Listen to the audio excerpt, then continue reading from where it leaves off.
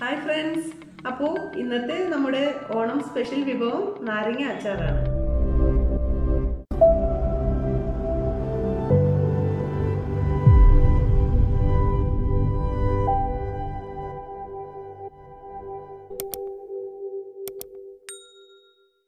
നാരങ്ങയെ നമ്മൾ ഇങ്ങനെ കട്ട് ചെയ്യാം. ഒരു നാരങ്ങയെ നാല് പീസാക്കി കട്ട് ചെയ്യണം. നമ്മൾ അച്ചാറിനെ എടുക്കുമ്പോൾ എപ്പോഴും നല്ല പഴുത്ത നാരങ്ങ നോക്കി എടുക്കണം. ഇനി നമുക്ക് ഈ നാരങ്ങ ഇതുപോലൊരു ചില്ല് ഭരണയിലേക്ക് ഇട്ട് കൊടുക്കാം.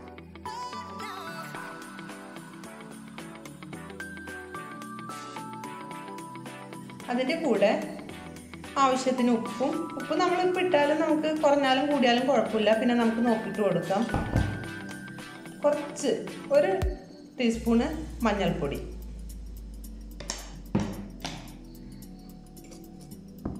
അതിനുശേഷം നന്നായി ഒന്ന് മിക്സ് ചെയ്ത് അടച്ച് വെച്ചിട്ട് ഒരു മൂന്ന് ദിവസം ഇങ്ങനെ എയർ ടൈറ്റ് ആയിട്ട് ഈ ചില്ലി ഭരണിയിൽ ഇരിക്കും.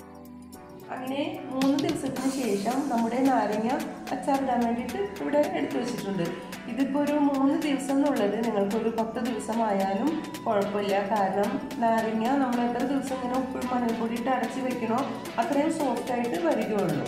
പിന്നെ അതിന് വേണ്ട മറ്റ് ഇൻഗ്രീഡിയൻസ് എന്തൊക്കെയാണെന്ന് വെച്ചാൽ മുളക് പച്ചമുളക് കട്ട് ചെയ്ത് വെച്ചിട്ടുണ്ട് വെളുത്തുള്ളി വിനിഗർ വിനിഗർ ഒരു ആറ് ടീസ്പൂൺ ടീസ്പൂൺ കണക്ക് പറയുകയാണെങ്കിൽ ഒരു ആറ് ടീസ്പൂണാണ് അല്ലെങ്കിൽ അല്ലെങ്കിൽ ഒരു എഴുപത്തഞ്ച് എം എൽ പിന്നെ കായം കായം ഞാൻ വെളിച്ചെണ്ണയിലിട്ട് വറുത്ത് വെച്ചിരിക്കുന്നതാണ്. പിന്നെ ഉലുവയും കടുകും ഇത് ഡ്രൈ റോസ്റ്റ് ചെയ്ത് മാറ്റി വെച്ചിരിക്കുന്നതാണ്. പിന്നെ ഉള്ളത് മുളക് പൊടി. ഇതൊരു ഒന്നേ മുക്കാൽ ടീസ്പൂണ് കാശ്മീരി ചില്ലിയും ഒരു ഹാഫ് ടീസ്പൂൺ നോർമൽ മുളക് പൊടിയുമാണ് ഇവിടെ എടുത്തു വെച്ചിരിക്കുന്നത്. പിന്നെ എണ്ണ ഉപ്പ് ഒരു ഹാഫ് ടീസ്പൂൺ ഷുഗർ ആദ്യം തന്നെ നമുക്ക് ഈ പച്ചമുളകും ഈ വെളുത്തുള്ളിയും വെളിച്ചെണ്ണയിലിട്ടൊന്ന് നന്നായി വഴറ്റിയിട്ട് ഇതിനൊന്ന് പേസ്റ്റ് ചെയ്തെടുക്കാം. ഇതിപ്പോൾ പേസ്റ്റ് ചെയ്യണമെന്ന് നിർബന്ധമില്ല. നിങ്ങൾക്ക് വെളുത്തുള്ളിയും പച്ചമുളകും എണ്ണയിൽ വഴറ്റിയിട്ട് അതോടൊപ്പം മറ്റു ഇൻഗ്രീഡിയൻസ് ചേർത്ത് അച്ചാറിടണമെങ്കിൽ അങ്ങനെ. പക്ഷെ ഞങ്ങളിത് വഴറ്റിയിട്ട് ഒന്ന് പേസ്റ്റ് ചെയ്തതിന് ശേഷമാണ് അച്ചാർ റെഡിയാക്കുന്നത്. അങ്ങനെ ചട്ടി ചൂടായി ചട്ടിയിൽ എണ്ണ ഒഴിച്ചിട്ടുണ്ട്. നമുക്കിനി ഇതൊന്ന് വഴറ്റിയെടുക്കാം.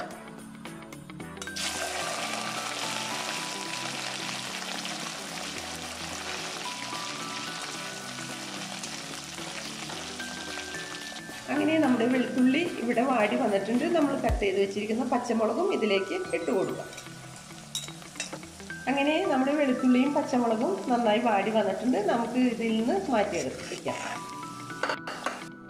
ഇനി ഇതൊന്ന് ചൂടാറി വരുമ്പോഴേക്കും നമ്മൾ ഡ്രൈ റോസ്റ്റ് ചെയ്ത് വെച്ചിരിക്കുന്ന കടുക് ഉലുവ കായം ഇവ ഒന്ന് പൊടിച്ചെടുത്തിട്ട് വരാം. അങ്ങനെ നമ്മുടെ അച്ചാറിന്റെ ഫൈനൽ സ്റ്റേജിലേക്ക് എത്തിയിരിക്കുന്നു. നമ്മുടെ നേരത്തെ തന്നെ നമ്മൾ വെളുത്തുള്ളിയും പച്ചമുളകും വഴറ്റിയെടുത്ത ആ എണ്ണയിലേക്ക് തന്നെയാണ് നമ്മൾ കടുക് ഇട്ട് കൊടുക്കുന്നത്. പിന്നെ ഞങ്ങൾ എക്സ്ട്രാ എണ്ണ വേറെ ഇതിൽ ഒഴിക്കുന്നില്ല. നിങ്ങൾക്ക് താല്പര്യമുണ്ടെങ്കിൽ ഒഴിക്കാം. ആദ്യം തന്നെ അല്പം കടുക് ഇട്ട് കൊടുക്കുന്നു.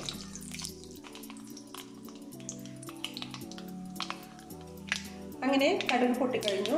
നമ്മൾ പേസ്റ്റ് ചെയ്ത് വെച്ചിരിക്കുന്ന വെളുത്തുള്ളിയും പച്ചമുളകും ഇതിലേക്ക് ഇട്ട് കൊടുക്കുന്നു. ഇത് ഒന്ന് നന്നായി മിക്സ് ചെയ്തതിന് ശേഷം നമ്മൾ നേരത്തെ എടുത്തു വെച്ച മുളക് പൊടി അല്പം വെള്ളം ചേർത്ത് പേസ്റ്റ് ചെയ്ത് വെച്ചിട്ടുണ്ട്. അത് ഇതിലേക്ക് ഇട്ട് കൊടുക്കാം. പിന്നെ പ്രത്യേകം ശ്രദ്ധിക്കേണ്ട കാര്യം നമ്മൾ എപ്പോഴും ഫ്ലെയിം മീഡിയത്തിലായിരിക്കണം ഇട്ട് വെക്കേണ്ടത്. ഇതിലേക്ക് ഞാനിവിടെ ഒരല്പം വെള്ളം കൂടി ഒഴിച്ചു കൊടുക്കുന്നുണ്ട്. പിന്നെ നമ്മൾ നേരത്തെ എടുത്തു വെച്ച വിനിഗർ ഇതിലേക്ക് ഒഴിച്ചു കൊടുക്കുന്നുണ്ട്.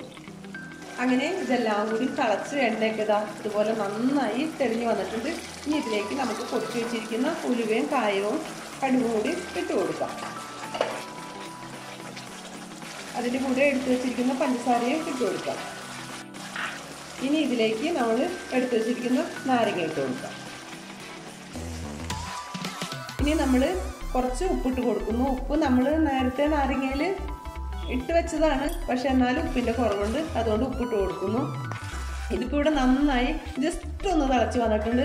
ഒരുപാട് തിളക്കുകയോ ഒന്നും വേണ്ട. കാരണം നാരങ്ങ ഇങ്ങനെ തന്നെ ഇരുന്ന് വാടിക്കോളും. അങ്ങനെ നമ്മുടെ അച്ചാർ ഇവിടെ റെഡി ആയിട്ടുണ്ട്. നമുക്ക് ഗ്യാസ് ഓഫ് ചെയ്യാം.